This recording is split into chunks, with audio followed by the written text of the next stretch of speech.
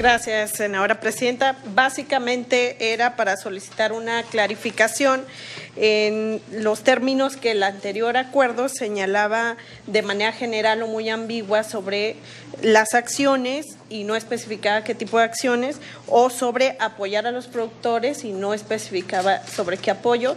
Sin embargo, con la nueva definición señalada por el senador, pues queda un poco más puntual. Así que solamente esa era la intervención. Gracias, presidenta.